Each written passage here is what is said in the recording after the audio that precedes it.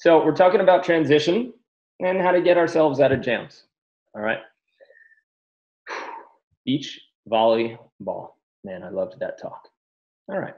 So good. It looks like we're going to have our first, maybe our first transition opportunity here. All right. This is my match with Ian Satterfield against Ty Loomis and Michael Brunsting. Okay. I'm coming for the inside set. Ty Loomis makes a lovely move here. Sits in the middle of the court, which I do recommend being centralized as a defender. Make sure that you're hovering around the middle of the court. We don't want to play perimeter because if you're playing on the perimeter, you're going to be too far away from the rest of the court to get a good scoop. Right? You want to centralize yourself. So here, he's not really telling me with his body clearly if he's going to end up in the diagonal or the line. I play more off of Mike, and I see this small space here because Ty is centralized. He's able to make a quick move to that ball and covers this shot. He also probably has a scouting report on me. all right. Um, all right, we got a block. No, we got a, a double something. All right. So Ty gets a dig, and this is what we're talking about here, right? We're in trouble. Ty centralizes himself, putting himself close to the majority of the court, right? And he gets that dig. That's a great read. He knows I'm going down this way, and I'm bringing it back cross because of the shoulder position that I have, rotating. Once he passes, he passes, that ball's going to end up straight in front of him. So if you see where that ball is going to end up, here's Ty's body. And hmm. then, okay, that ball's going to end up pretty much straight on his body. So his job in transition is to set himself up as if it were serve receive.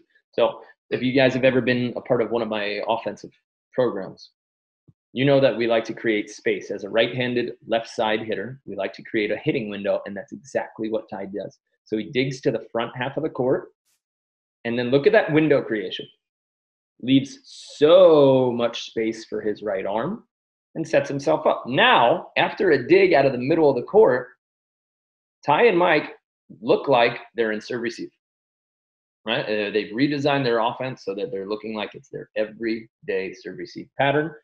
And he creates this big space for the, for his right shoulder, and then Mike is going to lay it inside the right shoulder. We don't see this out of a lot of amateur players. We don't see people going outside these lines. Somehow they act as a boundary, and people don't like to go outside them. But you'll see professionals do it all the time, set themselves up for the proper hit right? So Ty gets outside of that court, gets a good look at me. I'm trying to stay centralized and gets that nice cut shot, right?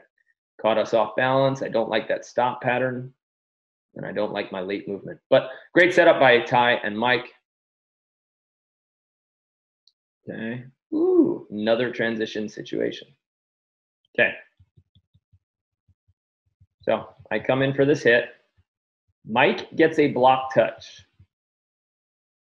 You know, as there's a lot of players out there that should not be blocking. So this won't apply to everybody.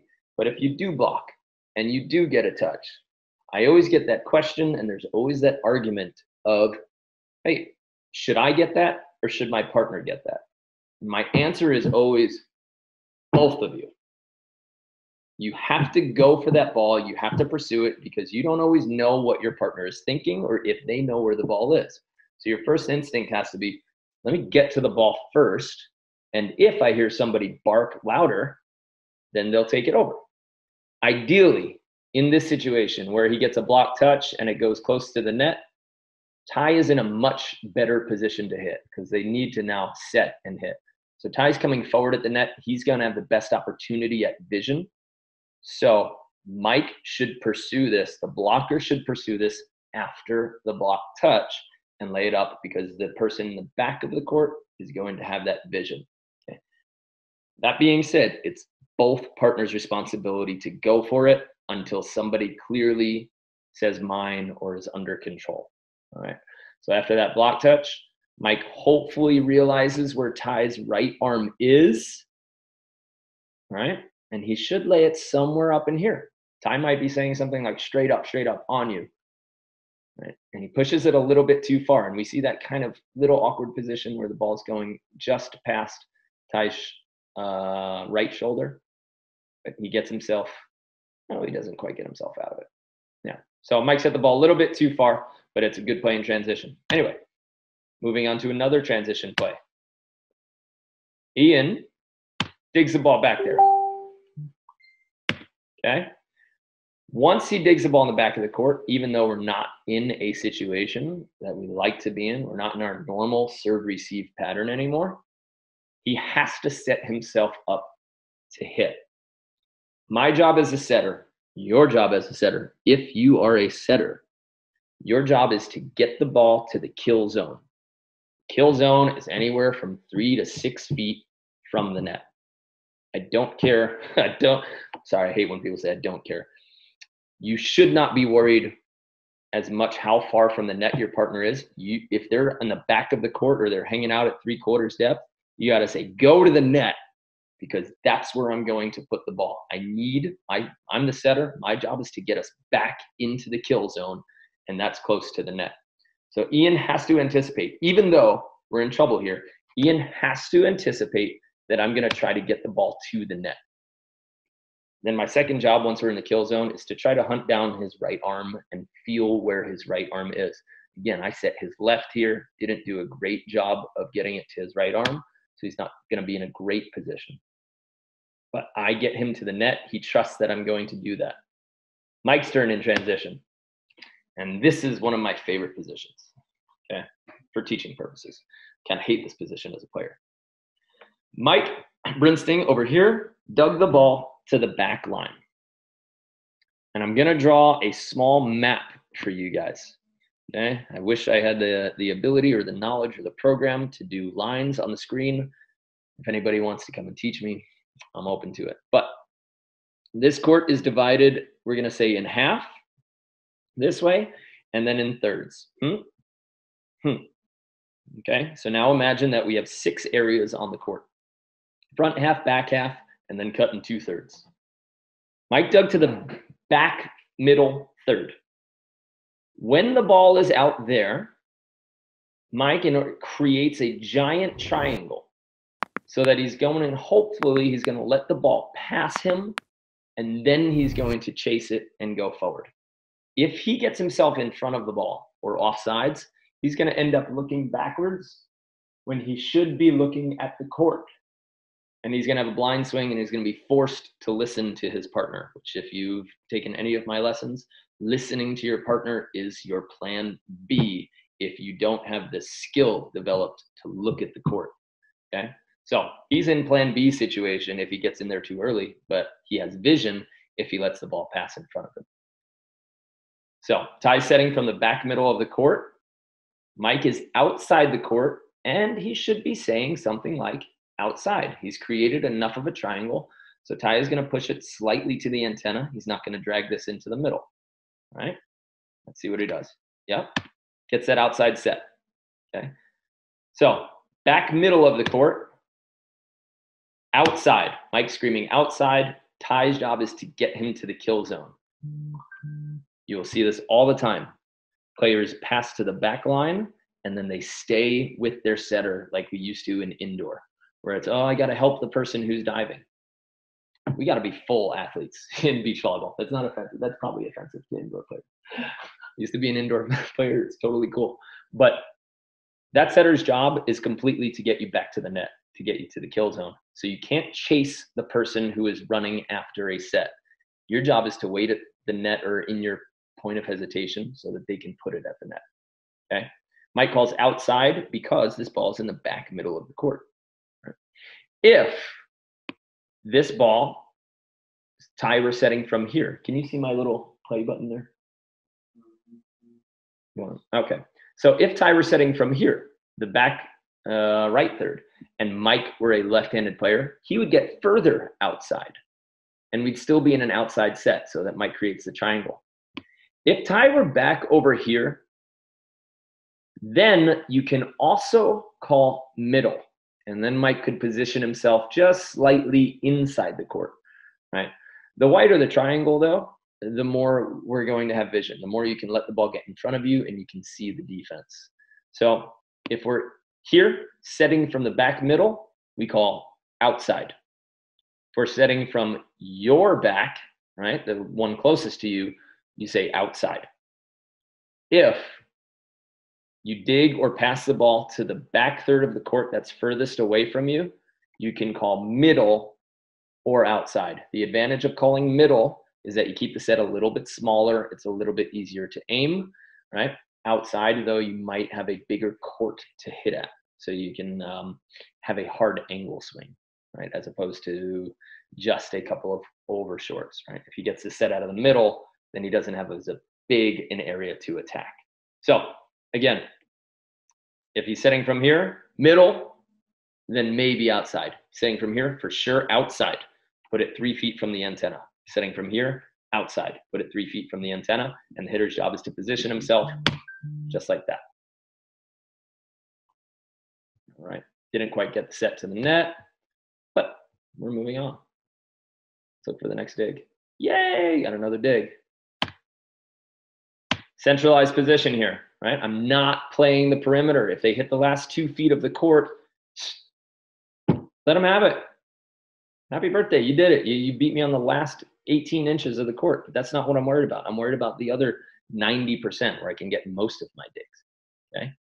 So I get a little read here on Ty, maybe, mm, yeah, a little read slash a four, but I get this dig. I put the ball to the front of the court, and now I'm running a sprint vision offense. This is a little bit beyond most of us, but if you have the control and the ability to do this, you can catch a blocker very off balance. So once I dug this high line, normally we'd like to just go around and relax. Mm, my theory is that I like to be able to put blockers off balance. If you're playing against people who aren't blocking, don't bother with this. It's not going to put them off balance. So I go ahead and I come around and I sprint quick and we're going for a low set. Right? Mike caught up nicely. I didn't get it around him. I got better at this during the season though. All right. He's a little bit off balance, makes a good rebalance move. Ian does the same method. He gets his cover dig, and then he's spreading quickly to the pin, again, trying to get Mike off balance. I slowed it down a little bit too much, but we got, yeah, I slowed it down a little bit too much for Ian. All right, here we go. So we got our dig. There's Mike's pass has a nice hitting window for his left arm. Ty's job is to try to leave it within this window. So they're not in a great serve. He pushes it a little bit too far, which gives me a defensive advantage because I see that ball coming over his right shoulder. So I start bailing on it. This is me playing a read defense. All right. Barely get my hands on it, but it's up enough. And I dig it high enough so that Ian can get his hands on it and that I have time. So Ian can relax as a setter. I don't shovel it low to him get high enough above the antenna so that we have time to reset. Ian's job is not to feel me on the ground and say, all right, I'll set it to where you are. I'm going to put it at half court. His job, because he's a good setter, is to get the ball to the net. My job is to get my ass up and get to the net so that I can get to the kill zone. All right. If I'm on the ground, if your hitter's on the ground and you're a setter, you have two options to control that play or to slow it down. Option one, actually, you have three options. Option one is to wait longer and set from a lower crouched position. Each couple inches that you let the ball drop, you've created more time before we have to set. Okay, so you can crouch lower and contact lower on the set. Even six inches will give your partner a little bit extra time to make sure that they can come back and get ready in time. Option two is to create, if you're a hand setter, just a little bit longer, deeper hands. Some people have very quick hands, but some people have the ability to sort of slow down time within their hands. I know Brandon used to be able to do that very well, still does that very well as an indoor setter. He would allow his middles to catch up by slowing down his hands or letting the ball come in deeper like this, not deeper like this, but deeper with the hands and then releasing to create just an extra split second and regain time. Option three is just set higher. But no matter what, there are no options that say, I'm going to set you at half court, right? Because we're getting to the kill zone. And there we go. So let's watch that whole play again because it's me doing well. So I want to show you guys that. All right. Get a little read on it, make the dig. He gets me to the net even though I'm on the ground, and then we get that seam kill. That would be bad if that camera didn't fix for the rest of the time. Okay. Another great. So even though this is serve receive, this can seem like a dig. Okay. And they do a really good job of getting themselves back into system. Right? We will call this a transition situation, even though it's serve receive, because we're out of system. So Mike gets a rough pass, but Ty sprints to it, slows himself down, creates a long contact on the set for the last two steps. So I want you to see how his speed changes. He gets sprint mode and then long at the very end. There's a very distinct time change or speed change in his pattern. So check it out. Low, long. Did you see that? See that little last pause on the giant lunge? Okay. He creates a long situation so that he can be accurate at the very end. Fast first, but don't just sprint through and hit. Fast, fast, fast, fast, long, and then set. Check it out again. Long. See how he sort of pauses his own body on that last step one more time? Big time sprint. Nice. Here's what I love about Mike. This is how you know he's a professional, right? Brunsting gets a bad pass, does not start chasing his setter, does not start charging the net. Brunsting trusts that Ty Loomis, AVP champion, can get him to the net even when he's diving. And that's the faith that we need to put in all of our setters. And that's the expectation we need to have. Because if we have low expectations for them and we just chase them or we expect them to set it at half court, they're never going to get it to the net and we're never going to get a kill in this situation. We're just going to keep it alive. And that's not enough to win tournaments. Keeping it alive is not enough to win tournaments. It's enough to get you out of pool. Don't make errors, don't make errors. But at some point, you got to get kills in transition situations. So he waits here. You see that? He's saying go, go, go but his body is staying calm and he's in a hitting position, expecting Ty to get him to the net. He also doesn't chase Ty, he doesn't charge the net. He says, Go, and I'm going to wait for you to set me perfect. He's got high expectations of the setter, which is what makes him a professional. Boom. And his setter does the job, and they get the kill from it. If he had charged the net early, or if he had just panicked and ran, or said, like, oh, poop, pass bad, uh, not going to happen. You're not going to get that kill. But they got themselves out of a bind there because he stayed calm, said, go, go, go on the net. And that's how we get those kills. All right. So good transition situation where we have a run through setter who sprints, slows himself down, and then the hitter who, even though he's in trouble, he expects a great set.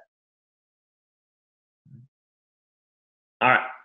Here's another one right? It's serve receive, but we're in a transition situation. So don't get a great pass. Or Ian was actually trying to set me on two here. But now I'm facing backwards, right? And Ian can recognize that I'm in trouble and chase me and get nervous, or he can expect me to find him because that's my job as a setter again to find him. So even though I'm turned around, I'm hoping that Ian talks to me. But my job as a setter is to remember the last place that I saw him. And if I can remember that, then I should know about where his right arm is, and I'm trying to force that to the right arm. So if your setter doesn't talk and you're blind, the setter's job, sorry, if the hitter doesn't talk and the setter is blind, the setter's job is to remember where the hitter was and say, okay, it's the last place I saw him. So that's where I'm going to put the set on his right arm. Okay, super important. Ian stays composed, right? Waits back, stays at half court, my job is to find it. Even though I'm diving and doing something crazy, we're expecting that we're going to get that kill. So we set ourselves up to do it. This is the last one. All right. We finally get a dig out of here. Centralized in the court. Make a little adjustment step, small rebalance. But notice I can't even reach the sideline from where I'm standing. So defensively, stay centralized, guys. You're going to get a lot more balls hit at you. And if they, again, if they hit in the last 18 inches of the court, let them have it. And if they keep doing that, then they deserve the match, really. Um, or you'll have to make a defensive adjustment before they win the match. But we get a dig here. It's in the front half of the court or about half court, which is pretty good. Since I dug him a little bit off the net, I'm not going to get in line with him like I usually do as a right side. So now I'm asking push, push. If I pass that ball really forward from 10 feet, then I could get in line with him as a right side. But right now, I'm saying push because that tells him I don't want him to put it in the middle. I also don't want him to throw it outside to the antenna. I just am giving him a sense of where my right arm is, but I'm in his peripheral here, so he has to know as a setter where my right arm is. Okay? He gets it out and over my right, and I'm in that slinky position that we talked about with Dr. Dom, um, trying to fight out of that. But he does a good job of getting it to my right, and I stayed calm after the dig. I didn't charge the net. Right? Dig and don't rush. Everybody gets so excited after a dig that they rush, but you can see that I walk on that first step. Dig, calm now. Right, left, and get forward. Ty gets another one out. Nice. Too much heat, Ty Loomis.